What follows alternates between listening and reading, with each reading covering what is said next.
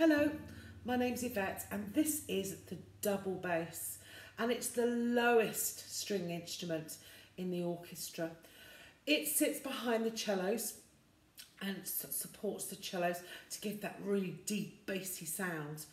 You'll notice also it's slightly different in shape because although it is a member of the string family, it's and the violin family because everything is basically the same. We have, I'm going to lift it up, we have a spike, can you see that? And also it has four strings, bridge, but if you look at the shoulders, you'll see they're sloping. And that really is because it's quite an ancient instrument and it's actually from a member of the viol family, which was a very ancient string instrument. If I turn it round, you can see its sloping shoulders. If we had, if the double bass was actually shaped like a cello, it would be quite difficult to get around the instrument. You'll also notice here at the top, we've got a sort of a metal mechanism and that's called the tuning box and tuning mechanisms. And because the strings are so thick and low, we have to have this special system in order for us to tune it so they can take the strain of the low strings. With further ado, let me show you what it sounds like the bass. So four strings, but you'll hear it's much lower than the cello.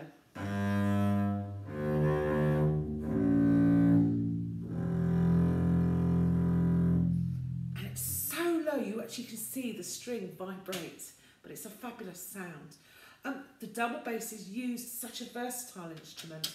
Um, you might see it in jazz groups, in contemporary groups, and usually we use our fingers, we use pizzicato. That's where we pluck the string and we use various, various techniques. Let's see what it sounds like.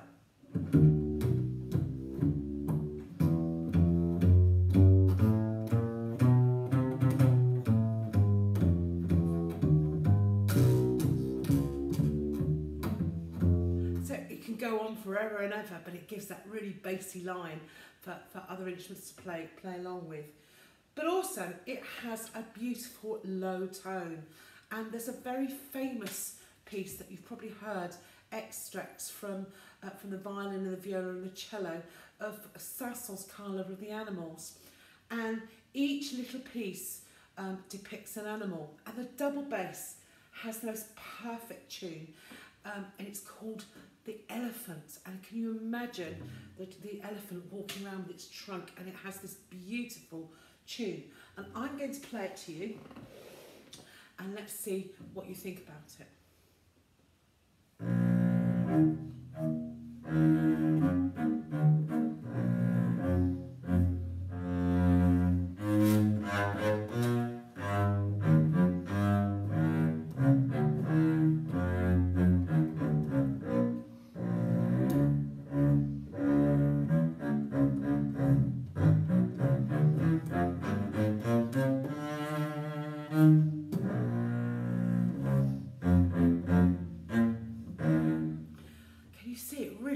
Sounds like an elephant, doesn't it, going along?